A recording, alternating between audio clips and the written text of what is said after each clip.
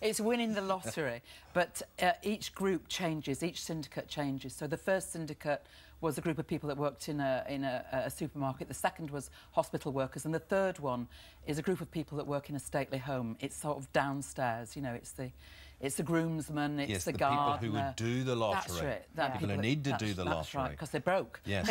well, yes. And what have you learned about doing... I, I presented the lottery programme on a Saturday night yeah. for many years.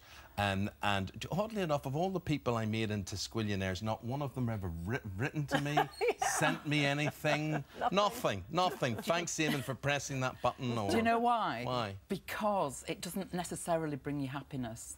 You know, it's great, the euphoria of winning the lottery lasts for about three to six days, and then the responsibility sets in. The responsibility of what to do with that kind of amount of money, of, you know, who to give it to, who to give it to mm. in your family.